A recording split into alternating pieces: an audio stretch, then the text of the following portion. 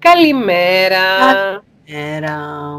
Αριστοτρίτη σήμερα, Μεγάλη Τρίτη της Αγίας Εβδομάδας του 2021, 27 Απριλίου 2021 και το θέμα μας σήμερα είναι παιδοψυχολογικό. Ματέωση στα παιδιά και πώς αντιμετωπίζεται. Πώς διαχειρίζεται μια μαμά μόνη, δηλαδή μονογονιός, την επιθετική συμπεριφορά του παιδιού που νιώθει ματέωση. Δόκτωρ. Λοιπόν, καλημέρα, καλή Αγία Εβδομάδα, με πολλή υπομονή σε όλους μας. Στον απανταχού ελληνισμό που βιώνει σε καραντίνικη, καραντίνικον Πάσχα, ακόμη έναν καραντίνικο Πάσχα. Ας, ευχη, ας ευχηθούμε να είναι το τελευταίο. Ναι, ας ευχηθούμε να είναι το τελευταίο. Δεν θα κάνουμε άλλες ευχές, γιατί όπως γνωστό, όποτε ευχόμαστε πράγματα, σε αυτή την πανδημική κατάσταση κάτι γίνεται και ε, μας ξαναβιώνουμε. Λοιπόν, ε, να πούμε ότι έτσι από αυτά που ακούμε αυτές τις, ε, αυτές, αυτή την εποχή που όλοι πραγματικά έχουμε έρθει αντιμέτωποι με, τα, με, με το βαθύτερο μας είναι και με τις, με τις αντοχές μας. Έχουν χτυπήσει κοκκίνων όλες οι αντοχές, πραγματικά. Άντε. Και εσάς και μας. Όλους, όλους, όλους. Όλος ο κόσμος είναι στα όρια του. Ε, είναι πραγματικά πολύ δύσκολο ψυχολογικά όλο αυτό το κλείσιμο, όλη αυτή η αναστάτωση που βιώνουμε.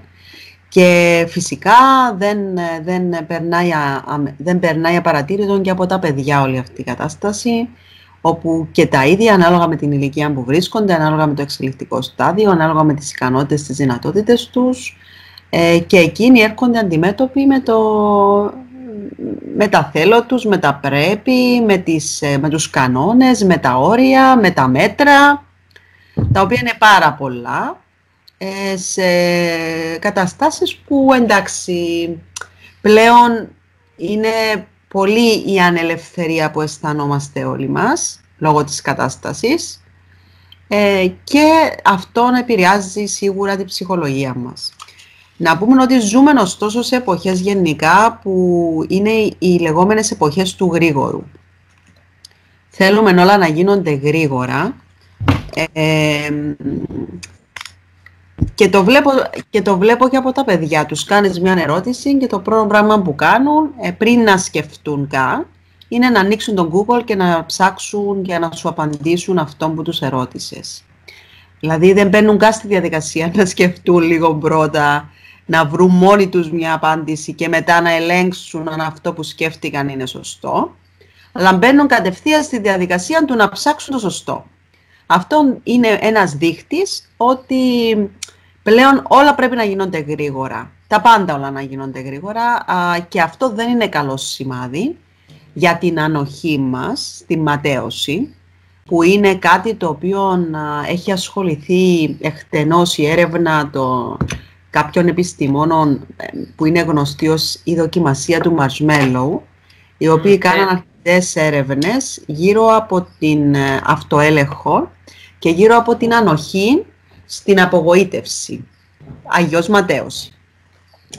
Ε, και έχουν, ε, είχαν βρει, το έχουμε μπει και σε άλλα ηχητικά και σε άλλα vlog μας, ότι τα παιδιά τα οποία είχαν υψηλή ανοχή στην ματέωση, ε, και είχαν την υπομονή και την επιμονή να προσπαθούν για αυτά που, που τους έβαζαν να κάνουν, είχαν καλύτερη εξέλιξη στη ζωή τους από τα παιδιά που είχαν χαμηλή ανοχή στη ματέωση και που αυτοέλεγχος τους δεν ήταν τόσο υψηλός. Λοιπόν, ε, άρα όλη αυτή η κατάσταση του γρήγορου, που ζούμε στην εποχή του γρήγορου, δεν θα είναι προς όφελος των παιδιών μας ε, και θα πρέπει όλους μας να μας προβληματίσει αυτόν. Ιδιαίτερα εμάς που ζήσαμε σε μια εποχή που για να βρούμε μια λέξη έπρεπε να κατεβάσουμε το λεξικό του Παπινιώτη και να γυρίζουμε σελίδα παρασελίδα και να ψάξουμε σε βιβλία και δεν υπήρχε τίποτα στο ίντερνετ και αφού πρωτίστως έπρεπε να σκεφτούμε ξανά και ξανά υπήρχε η περίπτωση κάπου να βρούμε καταχωνιασμένο κανένα βιβλίο ή κάτι, καμιά εγκυκλοπαίδεια η οποία θα μας έλεγε κάποια πράγματα και θα μας διαφώτιζε. Ωστόσο, τα περισσότερα πράγματα τα κάναμε μόνοι μας, με το μυαλό μας. Και αυτό δεν μας βγήκε σε κακό φυσικά. Όχι. Λοιπόν, άρα είναι καλό να βοηθάμε τα παιδιά μας να προσπαθούν ε, και να μάθουν να επιμένουν και να περιμένουν και να υπομένουν κάτι ε, παρά να τους το δίνουμε έτοιμο με ένα πάτημα ενός κουμπιού. Γιατί μπορεί να είμαστε στην εποχή του γρήγορου, μπορεί να μιλάνε για, για ότι πλέον υπάρχει περίπτωση να μπορούν να βάλουν ε, τρόπο ε, στα κάποια, ας το πούμε, σαν USB στον εγκέφαλο όπου θα μας βάζουν τις γνώσεις και δεν θα χρειάζεται να τις αποκτήσουμε μόνοι μας, αλλά αυτό εμένα μου ακούγεται πολύ, α, πώς να το πω, ε, φοβάμαι, το φοβάμαι αυτόν το, αυτόν το πράγμα, ακριβώς γιατί θεωρώ ότι ο άνθρωπος πρέπει να έχει την δυνατότητα να ελέγχει ο ίδιος, να έχει τη βούληση του, να έχει την ελευθερία του, να ελέγχει το μυαλό του, να, να, έχει, να, είναι, να έχει τον έλεγχο της ύπαρξης του. Οτιδήποτε παρέμβει πάνω του δεν είναι καλό. Ε, ας αφήσουμε την ανησυχία και τον προβληματισμό για τυχόν μελλοντική μετάδοση γνώσεων μέσω USB, το οποίο νομίζω ότι εντάξει, είναι, στα, είναι στη σφαίρα της επιστημονικής φαντασίας προς το παρόν. Ακόμη ναι, ακόμη ναι, αλλά είναι κάτι που συζητιέται ε, και το συνδέω με αυτήν την εποχή του γρήγορου, ότι όλα πρέπει να γίνονται γρήγορα, ακόμα και η γνώση να αποκτιέται με έναν γρήγορο τρόπο. Ε, αυτό μου θέλω να σε ρωτήσω, πώς σχετίζεται η διαχείριση της ματέωσης με το να μάθουμε τα παιδιά να έχουν υπομονή και να μαθαίνουν σιγά σιγά. Σχετίζεται πάρα πολύ. Μας ρωτάει, μας ρωτάει πώς μπορεί μια μητέρα μόνη, μονογονιός, να αντιμετωπίσει το θυμό που εκφράζει το παιδί επειδή νιώθει ματέωση. Ναι. Λοιπόν, εσύ μίλησες προληπτικά νομίζω. Είπα κάποια πράγματα περισσότερο για να, καταλάβω πόσο για να καταλάβουμε πόσο σημαντική είναι η ανοχή στη ματέωση. Την οποία χτίζουμε. Δηλαδή... Άρα, λέω, άρα καλά λέω μίλησες προληπτικά. Μίλησες πώς μπορούμε να προλάβουμε mm-hmm. τέτοιου είδους ξεσπάσματα mm-hmm. οργήλα των παιδιών τα οποία δεν αντέχουν τη ματέωση. Ακριβώς. Ε, καταρχήν μέσω του παραδείγματος μας. Δηλαδή, αν εμείς δεν ανεχόμαστε πολλά πράγματα ή αν ψάχνουμε την εύκολη λύση, ε, τα παιδιά μας προφανώς μέσω του παραδείγματός μας θα ψάξουν και αυτή την εύκολη λύση. Εμείς θα τους το διδάξουμε άλλωστε. Ε, που είναι, είμαστε το πρότυπο, είπαμε. Πάντα. Λοιπόν, κατά δεύτερον, όταν το παιδί μας έχει κάποιο ξέσπασμα, γιατί δεν ανέχεται ή δεν αντέχει να απογοητεύεται ή γιατί θέλει να πάρει τη σοκολάτα τώρα ή γιατί θέλει να κάνει αυτό που θέλει τώρα και δεν ξέρει το ύστερα, δεν ξέρει το μετά, τότε θα πρέπει με τον τρόπο μας να του πούμε ότι δεν υπάρχει επιλογή, αλλά κάποια πράγματα πρέπει να γίνονται στην ώρα τους. Οπότε του δίνουμε το, περιθώ... του δίνουμε το πλαίσιο. Του λέμε, κοίταξε να δεις, αυτό το πράγμα που θέλεις δεν μπορεί να γίνει αυτή τη στιγμή. Ωστόσο, αυτή τη στιγμή μπορεί να γίνει αυτό και αυτό. Ποιον από τα δύο προτιμάς; Τη δίνουμε δηλαδή την ψευδέστηση της επιλογής, που ανά την ηλικία του αυτό θα το ικανοποιήσει, όσο πιο μικρό τόσο καλύτερα, όσο πιο μεγάλο λίγο πιο δύσκολο. Ε, αλλά του δείχνουμε με τη στάση μας ότι δεν υπάρχει περιθώριο συζήτησης για αλλαγή γιατί, ε, της, της όποιας κατάστασης, γιατί έτσι είναι η κατάσταση που δεν μπορούμε να την αλλάξουμε αυτή τη στιγμή. Ας πάρουμε τώρα ένα παράδειγμα με το μέτρο. Σου λέει το παιδί, εγώ θέλω να πάω να παίξω με τους φίλους μου. Και του λες, μα δεν... Κοίταξε, δεν γίνεται να παίξεις. Αυτή τη στιγμή δεν μπορούμε να βγούμε έξω. Αλλά μπορούμε ε, να παίξουμε επιτραπέζιο παιχνίδι ή, ή, να παίξουμε καλαθοσφαίριση στην αυλή, να παίξουμε, ξέρω εγώ, κάτι μαζί ή να πάμε τροχάδι μαζί ή να μιλήσεις με το φίλο σου, ε, να τον πάρουμε στο Viper να μιλήσετε, π.χ. Θέλω να πω ότι δίνουμε του κάποιες επιλογές να επιλέξει, αλλά αυτό που δεν μπορεί να κάνει, του λέμε αυτό που, που θέλεις δεν μπορεί να γίνει αυτή τη στιγμή. Όταν όμως το παιδί έχει ένα temper tantrum Δηλαδή έχει μια κρίση θυμού και δεν ακούει, δεν, δεν είναι σε θέση, είναι τόσο θυμωμένο και ε, επιθετικό που δεν είναι σε θέση να κάνει μια συνομιλία.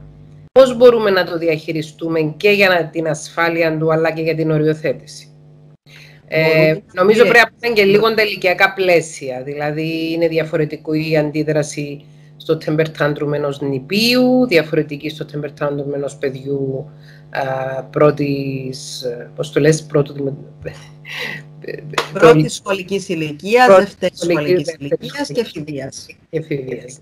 Ναι. Ε, όσο πιο μικρό, τόσο πιο πολύ ίσως να δεχτεί την επιλογή που θα του δώσεις, γιατί τα μεγαλύτερα παιδιά θα προσπαθήσουν να σε πείσουν ότι οι επιλογές τους είναι περισσότερες και ότι αυτό που θέλουν θα το κάνουν. Ε, ωστόσο, ε, το φάσμα 2 με 5 που είναι ο εγωκεντρισμός στα φόρτε του και υπάρχουν έντονα ξεσπάσματα θυμού και η αγαπημένη λέξη του παιδιού είναι το όχι, ε, χρειάζεται πρώτα να ηρεμήσει το παιδί, να το καθησυχάσεις, να το πάρεις μια αγκαγιά, ε, να αισθανθεί ότι δεν απορρίπτει το θυμό του, δεν το απορρίπτεις ως συνέστημα, ω κατάσταση, ότι το αποδέχεσαι και ότι συνεχίζεις να το αγαπάς και όποιο συνέστημα και να έχει. Και όταν ηρεμήσει, κάνεις μια κουβέντα μαζί του στα πλαίσια της ηλικίας του, όσο πιο μικρό, τόσο πιο απλά δηλαδή, και του εξηγείς ότι όταν θυμώνεις, κάνεις αυτόν και αυτόν, ε, ο θυμός είναι ένα συνέστημα, μπορείς να το, να το κάνεις συμβολοποίηση μέσω κάποιου λούτρινου, ε, ξέρω κάποιο λούτρινο που έχεις στο σπίτι ή να πάρεις ένα μαξιλάρι και να το βαφτίσεις μαξιλάρι του θυμού ή να του δείξεις τέλος πάντων ε, κάτι που δείχνει πώς είναι όταν θυμώνει και τα λοιπά και να το εξηγήσεις με απλόν τρόπο, ψυχοεκπαιδεύοντάς τον, ότι όταν αισθάνεται έτσι, αυτόν ονομάζεται θυμός και πώς μπορεί να το διαχειρίζεται ανά την ηλικία του. Λοιπόν. Και μετά να βρούμε τους λόγους που αισθάνεται θυμό. Όσο αν είναι μικρό, 2 με 5, είναι πολύ δύσκολο να σου πει τους λόγους. Μπορεί να τους, να τους βρεις εσύ μέσα στα πλαίσια της κατάστασης που, ε, που επισυνέβηκε αυτή η συμπεριφορά. Δηλαδή μπορεί να, το παιδί να πάθει κρίση θυμού γιατί ήθελε να φάει 10 παγωτά και εσύ του είπες δεν μπορείς να φας 10 παγωτά, μπορείς να φας έναν παγωτό και έκανε εξέσπασμα. Μπορεί να έπαθε κρίση γιατί κάποιος του πήρε το παιχνίδι του. Μπορεί να έπαθε κρίση γιατί ήθελε να πάει βόλτα έξω και δεν μπορούσατε να πάτε. Για διάφορους λόγους. Οπότε μέσα από την κατάσταση την οποία βίωσε, μπορείς να καταλάβεις τους λόγους που έναν παιδί μπορεί να οδηγήθηκε σε αυτόν το ξέσπασμα θυμού και αντίστοιχα να, να, να δράσεις. Οπότε, ε, εξηγάς το, ψυχοεκπαιδεύεις δηλαδή το παιδί σου μέσα από την κατάσταση που βιώνει ε, και δείχνεις ότι ε, δεν του το δίνεις έτοιμο. Δηλαδή ζούμε στις εποχές που επειδή ακριβώς όλοι μας είμαστε κουρασμένοι γιατί έχουμε γίνει πολλοί μηχανήματα και κάνουμε πολλά πράγματα ταυτόχρονα. Προτιμούμε να δώσουμε αυτό που θέλει το παιδί για να ησυχάσουμε, να μας αφήσει στην ησυχία μας, παρά να επιμείνουμε για το καλό του παιδιού. Δηλαδή δεν είναι καλό για έναν παιδί ό,τι θέλει να του το δίνεις εκείνη τη στιγμή.